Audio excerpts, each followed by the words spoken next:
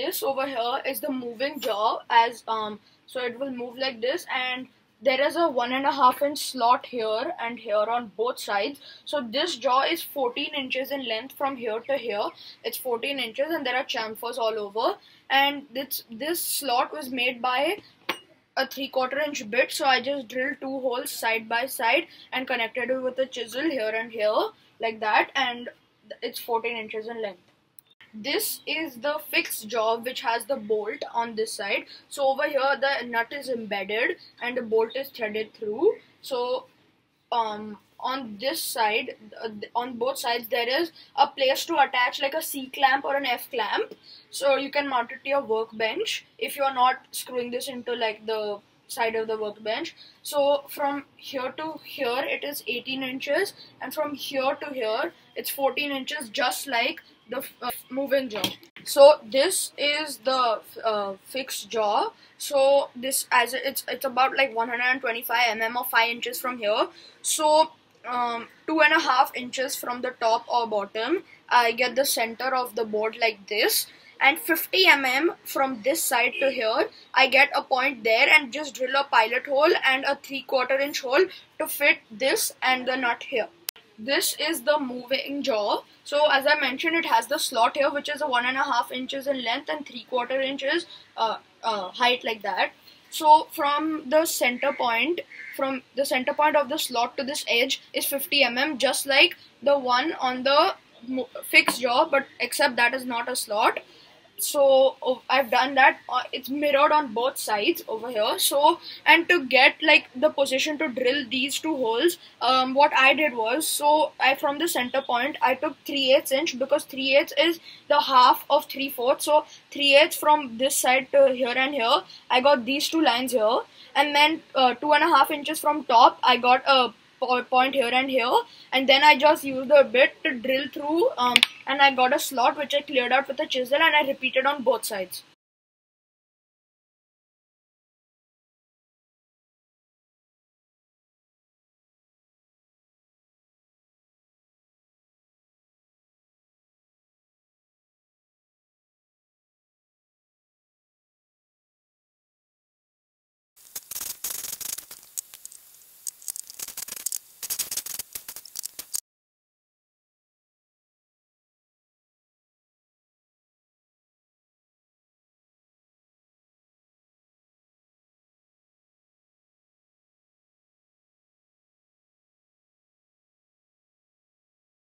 So this is the fixed jaw and I have got marks where uh, to drill the holes for the bolt.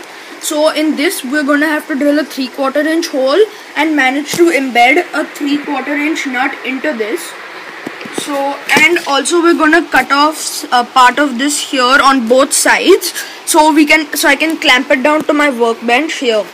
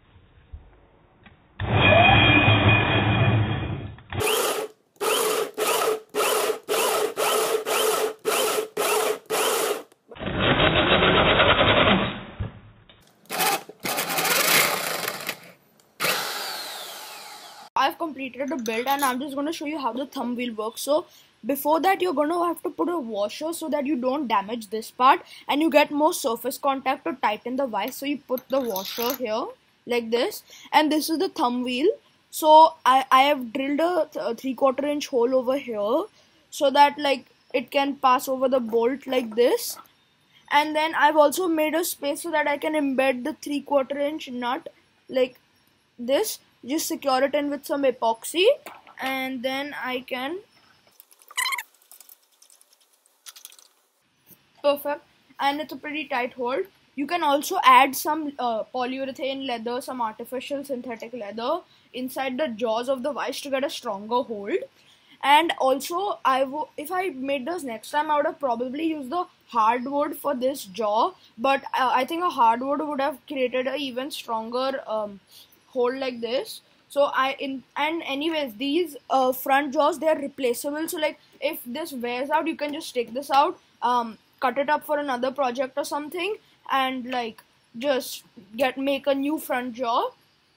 And so it's perfect for that.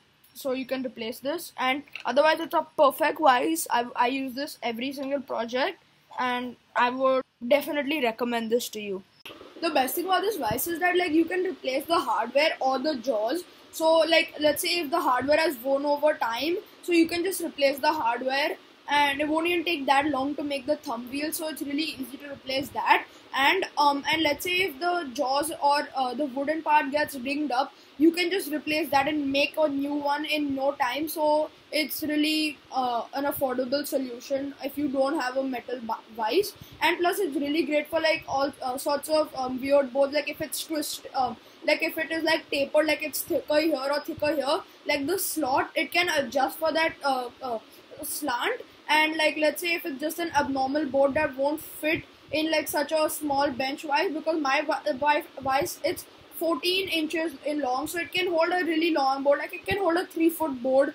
Um and like since this uh, uh, uh, bolt it's 8 inches long so like um and let's say the thickness of the wood is also about 2 uh, 2 inches each so you get about 4 inches of clamp uh, vice uh, the clamping space. So it's a lot and for like a amateur woodworker or just like um it's perfect and even professionals use this so it's a really great solution